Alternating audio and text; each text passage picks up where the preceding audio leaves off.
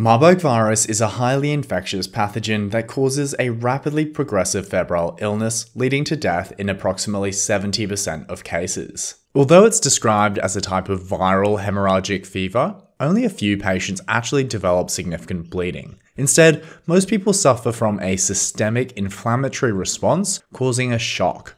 In terms of its virology, the Marburg virus has an RNA structure and is part of the Filoviridae family just like Ebola. Now, filo refers to its filamentous, thread-like structure. It has a natural reservoir in Egyptian fruit bats found in several African countries like Uganda and Guinea. Transmission occurs through close contact with body fluids of infected patients like sweat. Now, its pathophysiology is really interesting, but I only want you to remember three things. Firstly, it causes systemic inflammation.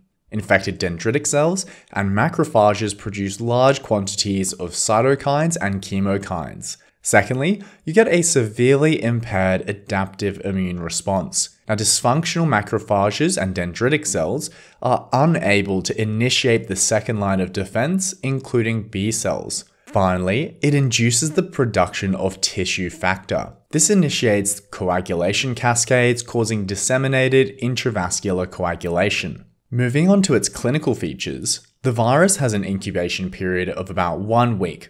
During this time, patients are not considered infectious because they're asymptomatic. After this, there are three phases a generalized phase, an early organ phase, and a late organ phase. Each one lasts approximately one week, and you can use my acronym, the bad cop, to remember the features in each one. Now, phase one kicks off with typical viral features, including a high temperature, severe headaches, and a maculopapular exanthem. Phase two represents the initial manifestations of organ dysfunction. Think bleeding, anuria, and diarrhea. This highlights its hematological signs like mucosal bleeding. Lastly, it causes severe complications due to complete organ failure, including coagulopathy like DIC, obtundation, and preagonal signs like gasping.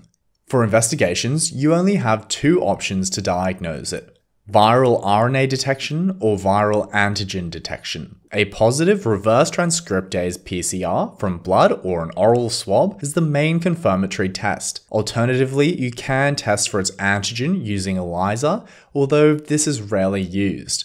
To finish, let's just think about the management of this disease, which relies on three things. Firstly, infection control with appropriate PPE. Secondly, outbreak containment and patient isolation to prevent further transmission.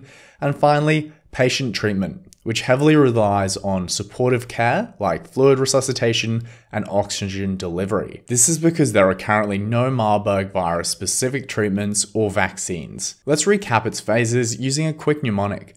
This disease is the scam of a lifetime because it's going to kill you.